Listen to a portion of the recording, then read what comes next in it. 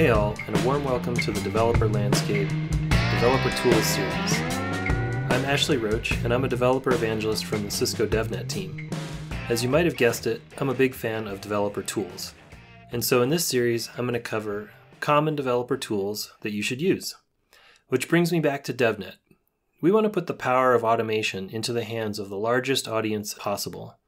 And so we put this series together to help.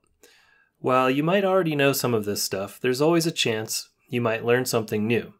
Of course, feel free to skip around. Each episode should stand on its own.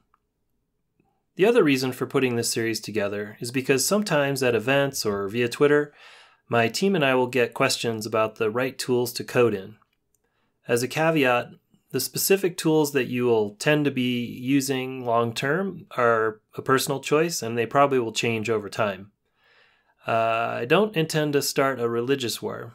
I mean, have you ever heard proponents of Vim or Emacs debate? Yeah, that is over 200,000 views on one Stack Overflow article alone. You know, tabs versus spaces. You get the point. Okay, what is in the tool belt? The categories that I'll be covering include IDEs and code editors, what are linters, some design and prototyping tools, testing and troubleshooting tools, source control management, and a few online services.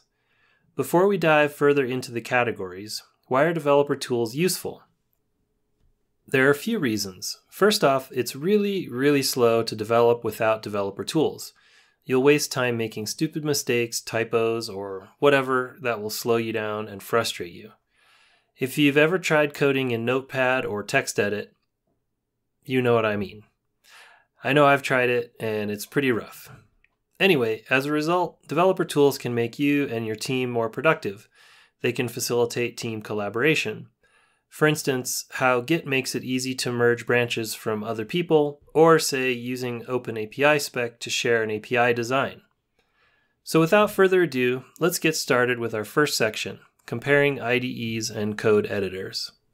If you want to try out some of your new skills, head over to Cisco DevNet at developer.cisco.com.